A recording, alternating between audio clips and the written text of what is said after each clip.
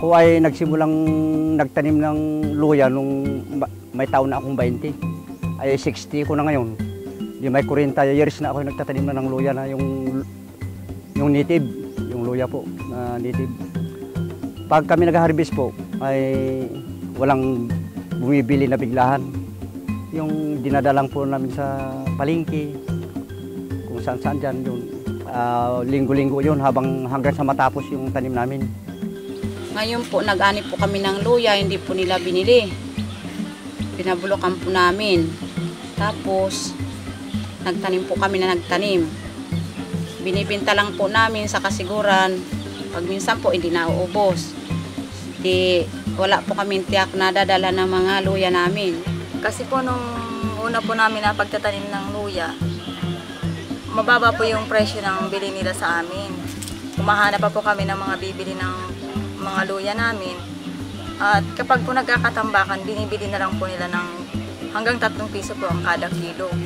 Nung panahon na kami ay naghahanap ng mga magtatanim ng luya, so nakita namin na meron silang mga pangamba ano, na dapat na tugunan.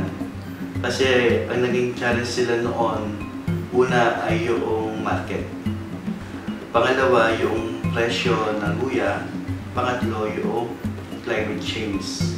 Una doon sa market, dati kasi may kausap silang ah, bibili ng luya nila. So nakumbisi sila para magtanim ng luya, kaya lang noong anihan na, wala na yung nangako sa kanila na bibili ng luya. Kaya ang nangyari sa luyang inanin nila, yung iba ay nabulok lang, at yung iba ay pinamigay na lang din nila para hindi masayang. Ngayon po, mayroong pumasok na isang ano sa amin, isang ano po ng ASCII na sila po ay magpapatanim ng luya. Mas inano ko po na sumali sa programa po ng ASCII para po sa... Kasi po meron po silang patanim ng luya at meron po kaming siguradong pagbebentahan na ng luya at sila na, sila na rin po yung mismong bibili. Ayun po ang kainaman sa pagkaalam ko po ay kwan sir. Mas maganda po na may biglang kukuha dahil makikita mo kung talagang may mayroon kang kikitain dito sa luya na ito. Pag kami nagtatanim po ng marami noon, yung luya na dati namin luyang one native, eh, pag marami kami tinatanim, ah, mura. Hindi kami kumikita sa luya namin dahil kinukuha lang po ng 10, 20 hanggang 20 lang po ang pinakamataas.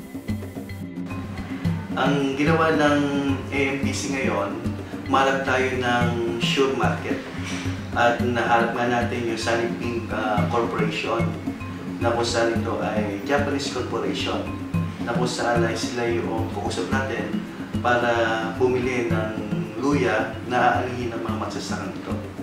Kaya sa ngayon, naniniwala ako na may siguradong market na yung ating mga magsasaka ngayon ng luya dahil nagkaroon kami ng agreement ng Sunnybeam Corporation na sila ang bibili nito.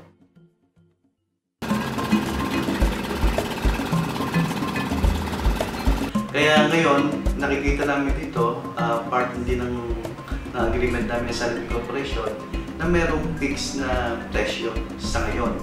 Ano? Na kung saan ah, alam namin na yung presyo na yun, hindi matatalimugan sa natin na kagaya dati ay talagang natin na nakakamba sila kasi hindi nila alam kung magkano talaga yung presyo.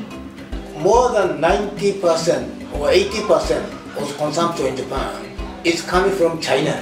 And another uh, 20% or 15% will be coming from Thailand and Vietnam. Its meaning is majority the China now. The local production in Japan is very, very small. So Japan should be continuously import from abroad.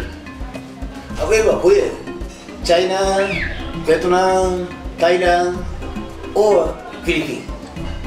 I am very much believing Philippines has very very big chance and opportunity Eh, yung, kwan, yung noon na native na itinatanim namin isang taon ay ngayon 90 days di siyempre Ah, hindi na kami gaanong nagagamas, hindi na kami nagagastos sa paggagamas. Eh, pwede na namin ibinta.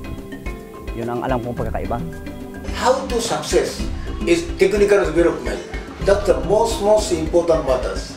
So we have initial technology, and thus we are going to inform to the our farmers, and we are also developing our own technician to support each farmers, so each area. So we, that is a very very good support, and one of the way to develop technical development. So I bring in to the technology how to grow and marketing, fixed market, and I need steady supply. So if we check on these together, maybe we shall success. Ang role ng AMPC dito ay malaki. Natin talaga yung mga magsasaka ay nakapagtanim na luya. Kasi meron tayo agreement sa Saladin Corporation. So kami ang tumatayong consolidator ngayon. No? Na kung saan kami ang kausap ng Saladin Corporation pagdating sa bentahan at sa presyo nito. At kami din naman ang kausap ng mga farmers ano, para kunin sa kanila yung yung inamin nila luya. At kami yung magbabayad sa kanila ng on time. Upang sa ganoon, yung kita nila at yung bunga nila ay muli, nila magamit sa kanilang pagsasaka. Sa Ako po nagpapasalamat sa ASCII kasi po ay binigyan kami ng pagkakataon na pa hiramin po kami ng kunting punan para po kami ay makatanim ng aming ikakabuhay. At hindi lang sa mga existing clients natin ngayon, kundi matulungan din natin yung mga iba pang magsasaka para sa pagtatanim ng luya. Diyan sa kasiguran at sa Malerona. At ang nakikita ko din dyan ay mabigyan din ng pagkakataon na makapagtanim din yung mga magsasaka dito sa Kalangalan Nueva Ecija at sa Nueva Vizcaya. So malaki kasi yung, ano, yung market ng luya.